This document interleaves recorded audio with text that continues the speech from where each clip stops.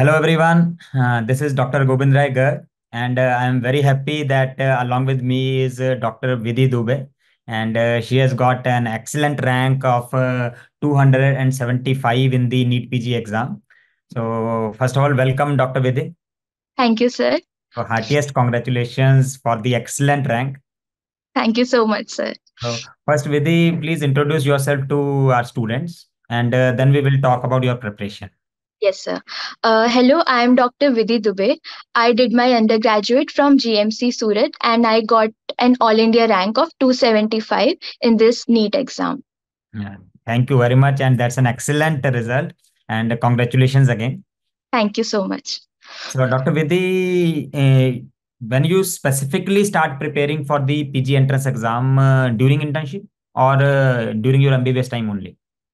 Uh, sir, uh, I started my core preparation from my internship year, but before that, I built up all my concepts so that the preparation phase becomes easier and more high yielding.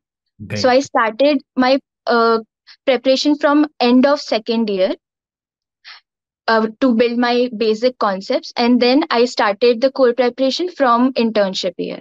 Great, great. So, guys, that is the uh, uh, exact thing. That means that is the right way to move forward. So, during your professional years, uh, do not consider that you just need to pass the exams.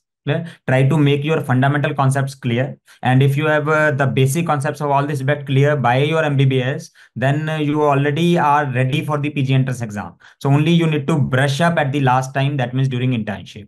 Yeah? Yeah. Am I right? Yes, sir, absolutely right. Great. So, uh, Dr. Vidhi, please uh, let the students know, first of all, uh, from where you came to know about cerebellum and uh, how you utilize the different type of resources present on the cerebellum. Yes, sir.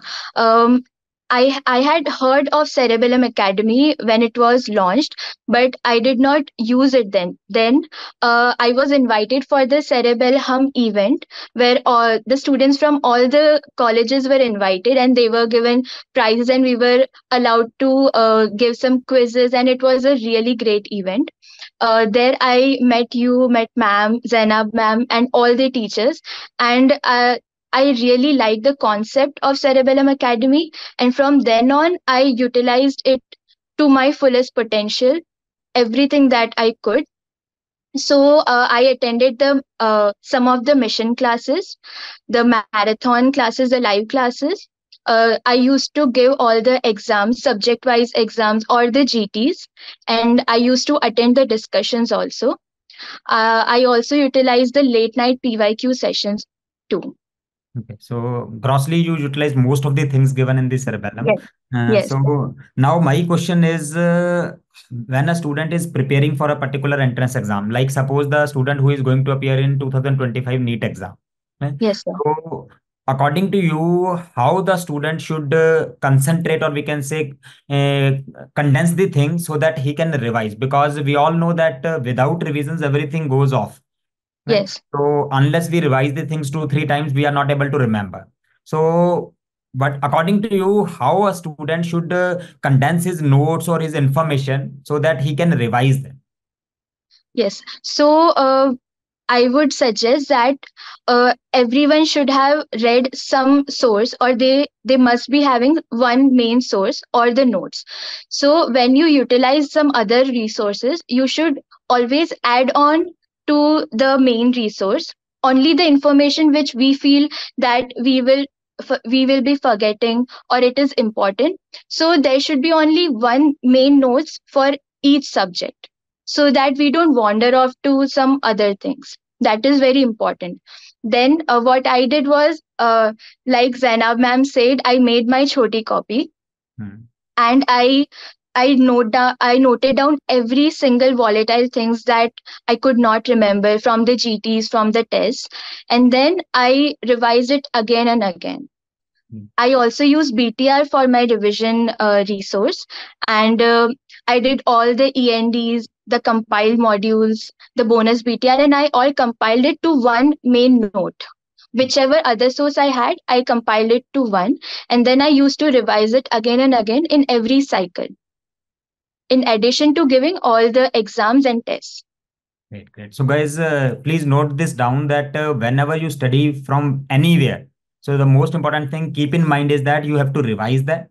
So you uh, take the information to one place from wherever, whatever you are doing, concentrate toward one point so that at the end you have only one resource to revise. So so that you do not wonder that in the last month you are lost that I have so many things to do. So Yes. whenever you study, just keep in mind that how you will study it again. So then it will become easier for you. Uh, Yes. Dr. Vidhi, I want to know about the uh, ENDs and the grand tests. So, number one, obviously, END, if they are subject wise, so we study a subject, complete a subject, then we Yes. give the test. So, with that, number one, we will come to know that uh, how uh, we can say how much command we have on over the subject.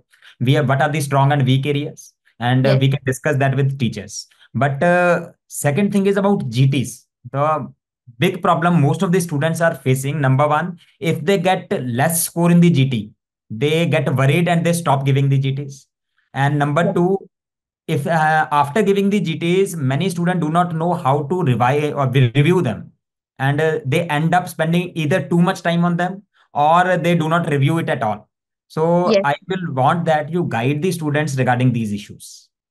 Yes. Uh, so, uh, in regards to GTs, I gave one GT baseline GT during the first day of my internship when I started my core preparation. Then, the score which I got, I knew that okay, this is my basic score, and I saw all the subject wise analysis that which subjects are weaker or which are strong. Then in the starting GTs, you have to review all the 200 questions. You can't skip any question. You have to read all the uh, explanations, and then we we get to know that which subject is weaker and which is which is strong. Then after some time, when we give another GT in the in the between time, we we obviously would have read any subject, two or three subjects. So after giving the second GT, we only have to see that the subject which I prepared, did I improve in that? Did my score improve in that subject? We we should not worry about the total number of corrects at the beginning. So we should only focus that what I read, what I revised, am I improving in that? So that made a lot of difference in the confidence you should not see the scores you should see the progression of the subject concept or the number of corrects you get in a single subject yeah Thank you very much, Dr. Vidhi. So I also keep on saying the students that uh, when you attempt a GT, suppose you are getting less marks, you are getting lot of wrong questions. So if you review the questions, you will find that you are making the mistake at this point. So yes. that will be embedded in your brain.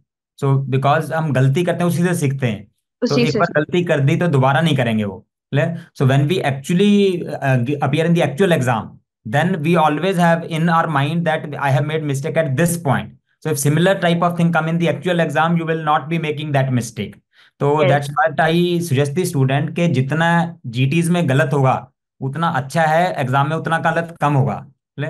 So there sure. is no point worrying that we are getting less marks in the GTs and we stop giving GTs because if we stop giving GTs, our improvement will also stop. True. We should be happy that we are getting wrongs in the GTS so that it uh, that won't repeat in the actual exam. Yes. Actually, that is the exact thing I want to communicate. Ke galat hota hai, to don't worry because in the exam you will be making lesser mistakes. Yes. Sure. Uh, so, Dr. Vidhi, uh, what was your actual shift in the exam, morning or evening? Evening shift. Evening shift. So, I have uh, been talking to some students, uh, and there is a general thing going on in uh, media, uh, social media, that uh, there were no rankers from the evening shift. All the ranks have been given to the morning shift. Is it true? No, sir. No, uh, I know a lot of my friends which who gave the evening shift and they got a rank. Yeah, So that means uh, I always keep on saying that uh, obviously the students from both the shifts would have got the ranks. Uh, Yes, top ranks also, medium ranks also, low ranks also. So those students who have not got the desired ranks, so there may be some problem in the exam or something like that. So students should accept the rank what they have got and uh, do not generalize that only morning shift students have got the rank. no, sir. That's uh, we should not do that. Uh, I I believe that whichever shift you give, whichever exam we give, we have to give our best in that exam. It would always reflect on our results. The hard work we do, it always pays off. So we should not complain or uh, like crib about these things. We should always focus on our hard work and our exam, that we give it our 100% exactly. That's the point uh, very well said ke karm karo phal ki chinta mat yeah so yes. you do your best and uh, obviously you will get uh, good results if uh, everything goes well. Uh, so dr vidhi one last thing if a student is sitting in front of you and he is preparing for 2025 so what are mm-hmm. the must do things for him? What are the must not to do things for him? Okay. Uh firstly, I would like to tell the must not do things. Uh, what you should not do is don't wander off to different resources. You would you would always get confused in the end. Whichever resource you use, you use it to its hundred percent because everything is covered everywhere. So whatever you use, you use it to its hundred percent. It will always give you the results. So be it anything. Uh, and what we should do is uh, i already said that you compile it in one place. You make one one book or one note and you keep revising it keep revising it. That is the only thing that will help in the end. In the last one week of exam you should be able to revise everything in the last 7 days or one week. So it will always be in your brain and in the exam you would you would be able to repro- re- reproduce it Great. Uh, guys, is note it again that uh, do not vendor here and there and uh, keep one resource, utilize it to the maximum, and plus also compile it so that you can revise at the end because revision is the key.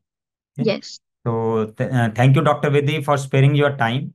And uh, heartiest congratulations to you and your family from all of us from Cerebellum Academy. thank And you so we much hope that whenever you come to Delhi, we will meet again. yes sir sure Thank you so much for sparing the time. Thank you, sir. Okay, bye bye. Bye bye.